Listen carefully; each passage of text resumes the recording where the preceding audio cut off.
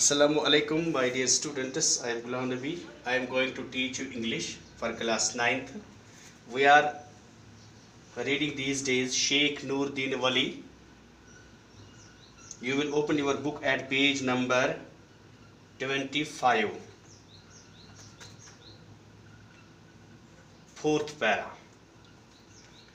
When he finally left the cave he had turned into a dedicated missionary he moved from place to place in Kashmir, preaching his simple gospel of the fear of God and accountability before Him after death, commitment to the principles of truth, justice, and love, and service of mankind.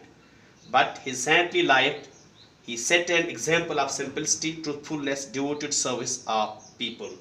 As a missionary, he taught us that a true saint is not one who escapes from life, but one who does his duties of life with honesty and humility. In one of his verses, he tells us that the chosen servants of God are those who worship Him sincerely and fulfill their duties in life regularly.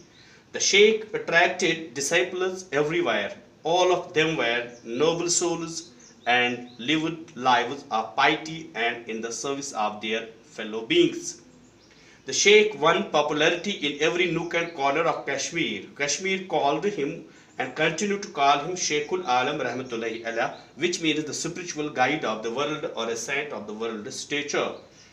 After setting a shining example of a truly saintly life, Sheikhul Alam died in Ropwan in 1438 AD and was laid to rest at Rawda Sharif.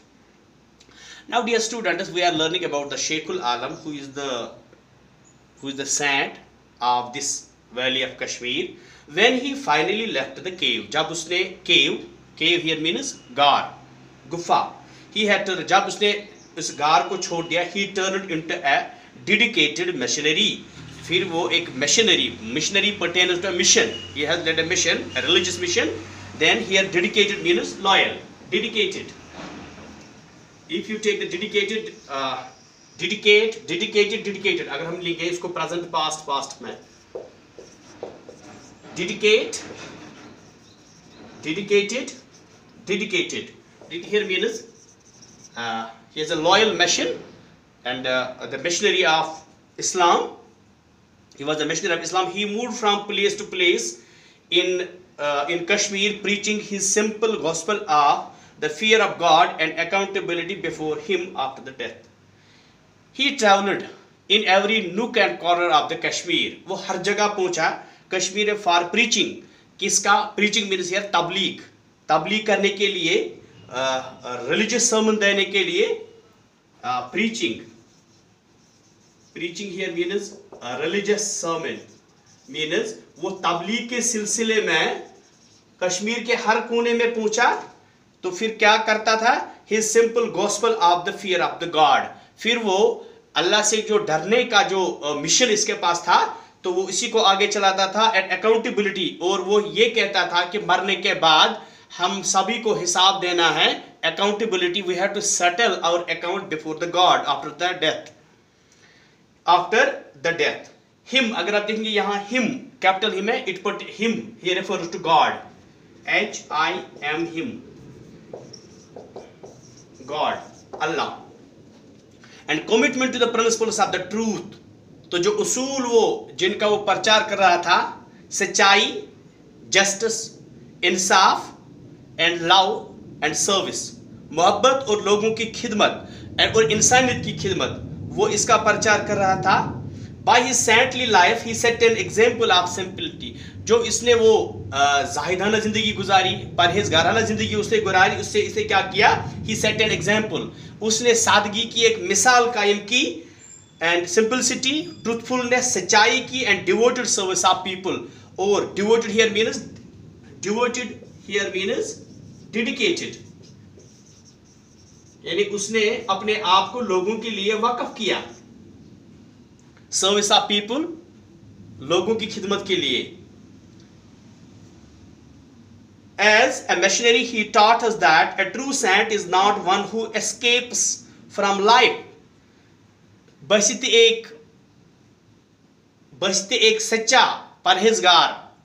उसने हमें यह सिखाया कि a true Saint एक परहेजगार ऐसा नहीं जो ज़िंदगी से भाग जो जो ज़िंदगी से जो ज़िंदगी से भागे।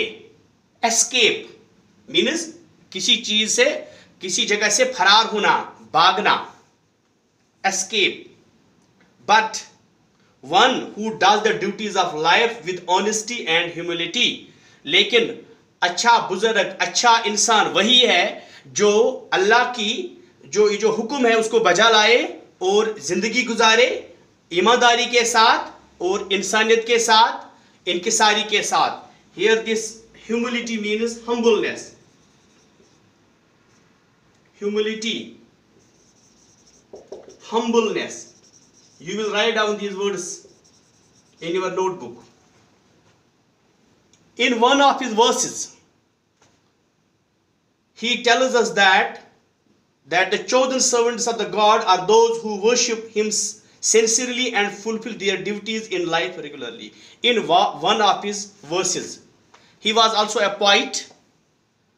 Then he tells in one of his verses वो अपने एक अशार में कहता है that chosen servants of God जो अल्लाह के जो बंदे हैं are those who worship him sincerely जो इसको, जो इसकी क्या करते हैं, इसकी इबादत करते हैं, खुलूस के साथ, खुलूसी नीयत के साथ इनकसारी के साथ एंड फुलफिल और अपने हुक्म को और अपने फर, और फराइज को बजा लाते हैं और लगातार वो इस पर कायम दायम रहते हैं।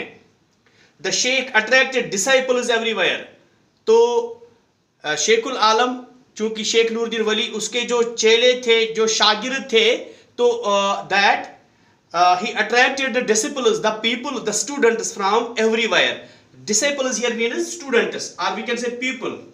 Disciples. Disciples here means pupil जो इसके मुरीद थे या शागिर्द हम कहेंगे तो हर जगह से उसके पास आए और उन्होंने कलम इरफान हासिल किया। All of them were noble souls and live life of piety तो सभी क्या थे?